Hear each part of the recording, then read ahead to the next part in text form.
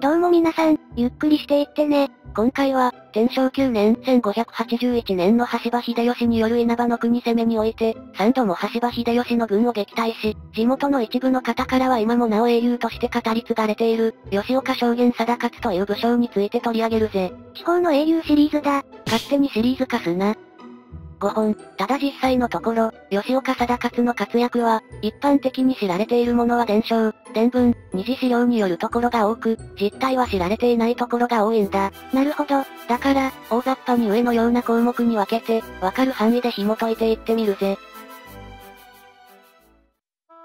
まずは吉岡貞勝のルーツから説明するぜ。今回の主役である吉岡証言貞勝を輩出した吉岡氏は、村上天皇を祖とする赤松氏族と言われ、稲葉の国高草軍吉岡湯村を擁したことから吉岡姓を名乗ったという、太平記に名が見える吉岡秋の神の子孫であるといい、15世紀には所領紛争の形跡が見られるなど、吉岡湯村に根付いた黒人衆であることが確認できる。貞勝の父、春祭も稲葉の黒人として吉岡一族を守り抜き、丸山城を築くなど戦国の世をたくましく生き抜いていたという。そして党の貞勝については青年や幼名など不明な点が多く、動向を伺い知ることが難しい。あまり信頼のおける資料ではないのだけれど、稲葉民団記では、天正9年1581年時点で、50猶予なりける。とあることから、青年は1531年以前と推定できる。また、中国新聞社の五条の府、中国地方、下によれば、慶長11年、1606年、75歳の生涯を閉じる。とあることから、青年は1532年と推定できる。これらを鵜呑みにするなら、少なくとも1532年以前の生まれとなるけれど、確固たる証拠というわけでもないため、もしかしたらこういう可能性があるという程度に留めておいてもらえると助かるぜ。了解。その後戦国時代の吉岡氏は山梨に仕えていたけれど、永禄年間1558年から1570年に、勢力の拡大が著しい毛利氏に下った。様子元禄さんの時にも見た下りだね。この頃は貞勝も父と同様に丸山城に寄っていたけれど、天正年間に入ると、吉岡温泉のそばにあった丸山城から、吉岡温泉の裏山にあって、より標高の高い位置にある美濃上城へ移った。この美濃上城は、永禄、元気年間1558から1573に、貞勝が築いた城だと言われている。ほうほう。ただ、美濃上城は標高が高く防備には優れていたものの、武器弾薬や食料といった、戦闘に必須の物資調達が困難を極めたため城を放棄。あらら、天正後6年1577年から1578年頃に、こちらも貞勝が築城したと言われるつづらを城へと移動した。それでつづらを、って読むの？なんだか面白い名前だね一説にはこの、つづらを、という読み方の由来は、山の形がつづら、に似ているからだと言われているぜ。つづらお城は、標高はわずか20メートルに過ぎないものの、三方向が湖に囲まれており、見た目以上に堅固な城であった。はい。今後、このつづらお城が吉岡市の本城となった、鳥取県市ブックレット1によれば、本拠地のある吉岡省に加え、日置、豊島、長瀬といった、沿岸地域にも所領を持っていたというぜ。また、吉岡温泉町にある宝泉寺は、戦国時代に戦火で消失したものを、貞勝が立て直したと伝わっているぜ。さて、貞勝のルーツに関する話をしたので、次は一般的に知られている、吉岡貞勝がいかようにして羽柴秀吉の軍を打ち破ったのかということを、軍記物語などの資料を要約して紹介するぜ。うい、これらを紹介した後に、実際はどうだったのかというところを見ていこう。まずは貞勝の活躍が記されている軍記物語として有名な、次の二つから様子を確認してみるぜ。ではまずは、陰徳太平記、から、まず、貞勝と秀吉の合戦は2度行われたという。貞勝は合戦に至る前にもたびたび羽柴軍の陣営野襲を仕掛けるなど、ゲリラ戦を展開しており、ある晩には多賀文蔵というものの旗差し物を奪った。これに屈辱を受けた多賀文蔵は、つづらを城に攻め込む決意をして秀吉に願い出た。秀吉は自らの馬印を文蔵に授け、文蔵を先陣としてつづらを城に攻め込むことを許可した。そして秀吉も自身の軍を率いて三つが先に陣を構えた。7月26日夜中、山の側からは橋場七郎左衛門が7000の兵を率いて攻め入り、多賀文蔵は3000の兵を率いて湖側から攻め入った。湖側からは一度に船で渡ることはできないため、まずは700人を率いてこぎ入った。そして、多賀文蔵たちが堀に取り付いて攻め上ろうとした時、沈黙を貫いていた城内から突如、鉄砲が一斉に火を吹いた。攻め手としては城兵に奇襲をするつもりが一種返しを受けた形となり、文蔵は兵を引き立て直そうとしたものの、足場が悪かったこともあって軍勢は大混乱に陥った。この時貞勝の弟、右近は、秀吉の千成秒単の旗印を攻めてから奪い取り、多数取った首と共に掲げて、天下無双の橋場秀吉公を討ち取りたり、その証拠にはこの馬印を見よ。と、大音情を上げたことで、城兵の士気はより一層高まったという。一方で攻め手は回想状態となり、それを見た貞勝は泳ぎの手だれのものを放ち、704人の首を取ったという。おお、そして、汚名返上に燃え、つづらお城を攻め落とそうと奮起していた橋場型の将、多賀文蔵は、乱戦模様の最中に討ち死にを遂げた。大大大勝利じゃん。この敗戦に秀吉は激怒し、日付は不明だがその後改めて、亀井これのり、橋場七郎左衛門に3000の兵を持たせてつづらを城に攻め入らせた。秀吉激怒定期。しかし、これも橋場型の敗戦に終わったため、秀吉は無用な犠牲を嫌って兵糧攻めへと移行し、鳥取城が落城した後に橋場七郎左衛門の仲介によってつづらを城は開城し、吉岡氏は白州、放棄の国、へと去ったという。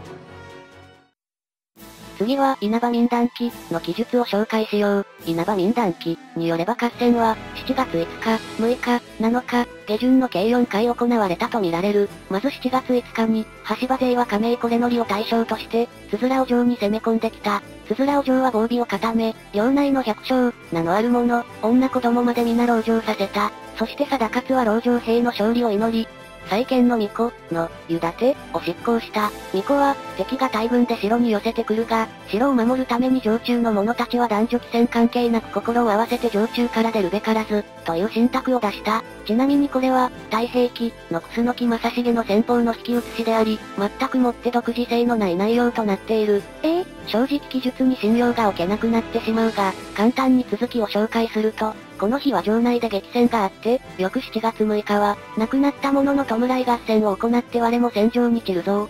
っていう武将のお話が描かれている。雑話としてはよくできているかもしれないけれど、貞勝の話は出てこないし、実在するかもわからない武将の市場による合戦事情は、今はいらない情報だしね。辛辣翌7月7日、これは陰徳太平記、と同様に、多賀文蔵らが船で城に押し寄せ、秀吉も自身の軍を率いて三つが先に陣を構えたとしている。そして城内の兵たちは息を潜め続け、敵が7、8部目まで攻め寄せてきたところで貞勝が大声で合図し、弓鉄砲を打ちかけ、大木をこかし、石を仕掛け、壁を登り来る者たちを槍で突き刺し、城内に寄っていた女子供たちまでもガイシウスの類まで持ち出して投げかけて、船を降りて攻め寄せた者たちを全滅させた。おお、ちなみにこれも、太平記の引き写しだぜ。さっきの内容を雑に紹介した理由がわかるかも。で、多賀文蔵は陰徳太平記と同様に戦で討ち死にしたとある。秀吉はこれに激怒し、亀井これのりに、ただ遠巻きにして兵糧攻めにして落とせ、と命じ、火星12人を残して、皆鳥取城攻めへと向かった。秀吉激怒定期定期。そして亀井これのりは、日数が経ち養殖が減っていくつづらを城に患者を忍ばせ、言葉巧みに城内の百姓をそそのかして退去させ、籠城の継続が困難であると判断した貞勝は、7月下旬に妻子を連れて野縁に紛れてひっそりと城を退去したという、とまあこんな感じだな。いずれも直接対決に分かって、兵糧攻めで城を追いやられているのね。また、その他のつづらを城合戦に関する記述として見られるものに、吉川常への家臣であった山形長重が後に書いた山形長重覚書がある。あ、ここで先に紹介されるってことは、きちんと信頼がおけるわけではないデータってことだね。ズバリご名答。この山形長重覚書では、貞勝の活躍は次のように書かれている。夜中に秀吉軍が船で城に寄せてきたが、将兵たちはこれを蹴散らした上で敵戦を踏み返し、数百人を討ち取った。秀吉は馬印を奪われながらも、方法の手でなんとか逃げ出した。翌朝、武具、上り、刺し物等が立ち並んでいる姿を見て、10万もの敵もこの堅固さには驚いた。という、はい？こっちでも対象しているわね。とまあ、こんな感じで、吉岡貞勝の橋場秀吉軍撃退劇を中心に伝えたけれど、これらの言い伝えは本当にあったことなのか、比較的信頼のおける資料を見ながら、実際の動きをできるだけ見ていくぜ。ういうい。一応、最初に結論を言っておくと、この戦自体は実際にあったと見てほぼ間違いないと思うぜ。おお、ただの伝承ではなかったということね。とはいえ、戦闘の様子について細かく書き記されている信頼のおける資料はほとんど残っていないから、そこはあまり期待しないでほしいぜ。了解。では、さっきまでに紹介した情報とも照らし合わせながら見ていくよ。さて、まずこの戦が実際にいつ、何度行われたのか、というお話だけれども、これは現存している上記の書状や覚書からも、戦があったことが確認できるんだ。ふむふむ。そしてこれらを少し紐解いてみると、合計3回吉岡、つづらお城、で合戦があったことが伺える。あ、ということは、ご名察、稲葉民団記、では合戦は4回となっており、陰徳太平記、では合戦は2回、また、今回紹介はしていないものの、桁化軍思考という編纂物でも合戦は2回となっているが、情報に間違いがあるということがわかるな。さらには、さらには、これらの資料から実際に合戦が行われたのは、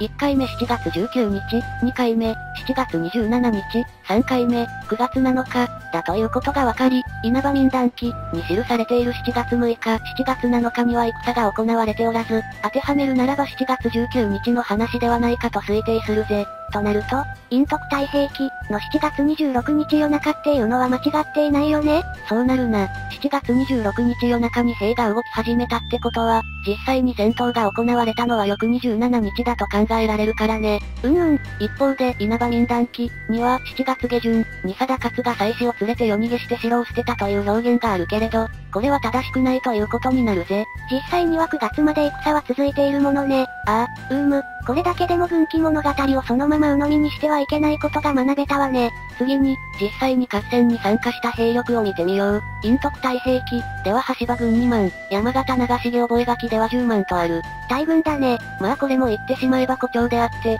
新朝後期には橋場秀吉が中国攻めに2万余機で出立し、備前、美政へ進撃し、田島口より稲葉国中へ乱入とある。つまるところ、橋場軍が2万の兵を持ってつづらを上攻略に当たったとすると、全軍を率いていることになるので鳥取情報意との矛盾が生じ、10万というのはそもそも論外な数字になってしまう。山形長重からすれば、10万の兵に見間違えてしまうほど、橋場軍の兵力が強大なものに見えてしまったんだろうね。後者はともかく、前者は吉岡貞勝の功績を誇張するために用いられた数字だと推定できるぜ。まあ、よくある話だ。よくある話なのね。もっとも、つづらを上攻めにおける兵力を表す資料は、現状どちらの陣営の軍についても見つかってはいないため、正確な数字はわからない。じゃあ、次は各合戦の勝者について見ていこう。合戦が3回あったことは分かったけど、今のところは吉岡貞勝が勝ったかどうかは分からないものね。ではさっき紹介した3つの書状を改めてそれぞれ見てみよう。うい。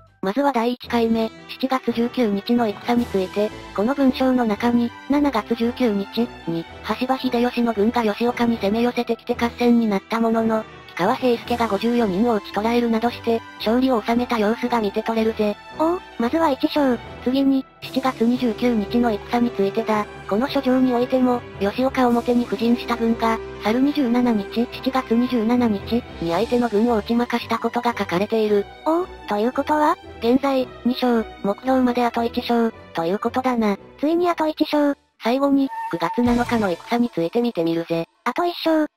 ドキドキ、去る9月7日、橋場軍が再び吉岡に攻め寄せてきたものの、吉岡勢は橋場勢30人を討ち取る手柄を挙げ、橋場軍の馬印を奪い、乗馬する地位にある者たちを追い落とすほどの大勝利を挙げたことがわかるぜ。お、おー、こ、これで3勝だー。軍記物においては誇張はあるものの、吉岡証言貞勝という人物が実際に地元の英雄に足る戦績を残していたことがこれで分かってもらえたと思うぜ。よかった。すべてがひっくり返って、全部構成の創作でしたそんな英雄はそもそも存在しませんわらわら、なんて展開にならなくてよかった。それはそれで、こういう言い伝えが残っているよ。っていうお話で済ませればよいから、そこまで卑屈になる必要はないんだけれども。あ、はい。というわけで、吉岡証言貞勝は見事に橋場秀吉の軍を3回撃退していたことが分かったぜ。なお、これらの戦いの橋場軍の対象は、天子急進の亀井これのりであると推定されているぜ。ほうほう。ただ、やはり3度の戦の詳細を伝える資料は少ない。先の書状から、1回目の戦では塚川平介が54人を討ち取られたこと、3回目の戦では34人ほどを討ち取って旗印を奪ったこと、の2点がわかることと、比較的信頼のおける、渡辺覚え、という覚書に、百戦錬磨の号の者である渡辺助の城が5箇所の槍傷を負いながら奮戦をしたという記述があることから、相当な激戦であったことが伺えるということが、わずかに読み取ることができる事実だぜ。兵力すらわからないものねとまあ、こんな感じで、吉岡貞勝の橋場秀吉撃退劇を中心に伝えたけれど、実際のところは伝承や二次資料による記録がほとんどのため、何がどこまで史実であったかを探るのは非常に難しいんだ。さて、最後に貞勝のその後について簡単に紹介しようか。三度の合戦が終わってからの吉岡貞勝の動向については定かではない。養老攻めにあったかどうかはわからないけれど、最終的には橋場軍に城を落とされたか開城したのだろう。陰徳太平記によれば毛利型の白州に逃げたとされる。稲葉民団記によれば諸国を放浪した後に困窮して稲葉の国に戻って機能したという。気高軍志向によれば、つづらを城近くに位置する持ヶ瀬村に居する、貞勝の娘の婿である水内何がしの元に身を寄せ、後に気高軍を塚村にて機能したという。ふむふむ。どれも表舞台からは身を消した記述になっているね。まあ東側はすでに織田方の手に落ちているところがほとんどだから、西に逃げていったんだろうな。また、古城の中国地方、下、によれば、慶長11年1607年に75歳で死去した、という話を最初の方でしたと思うんだけど、同書によれば、吉岡家初代から数えて15代目の方が山口県下関市に住んでおられ、その方の2代前の当主が、上州毛利氏の馬回り役だったという、経図によれば、証言貞勝の孫、影重が毛利秀元に召し抱えられたとされているそうだ。ただ、この経図には貞勝の父、春菜が記載されていないなど謎も多く、専門家の調査を待たなければならないとあるが、それ以降特に研究が進んだ様子も見受けられないぜ。だから、貞勝のその後については、確証に足る資料がないため不明だと言わざるを得ないんじゃないかな。ふんふん、気高軍志向や稲葉国士団などによれば、かつては小林という地にひっそりと葬られ、小さな墓碑が存在したという、その後水内家の菩提寺である光明寺の住職さんが、昭和29年12月に貞勝に戒名をつけ、位牌を書いたそうだぜ。じゃあ今はそこにお墓があるのね。また、二つの軍記物に出てきた多賀文像が誰かはわかりませんでしたが、落城後の11月に多賀備中がつづらを城に入れられているため、彼の関係者ということだろうか、などと、まだまだ謎も多く残る部分はあるけれども、今回はここらでお別れとささせていただきます。お疲れお疲れ。今回も長い時間ご視聴ありがとうございました。チャンネル登録や高評価をしていただけると励みになります。それではまた次回の動画でお会いしましょう。またね。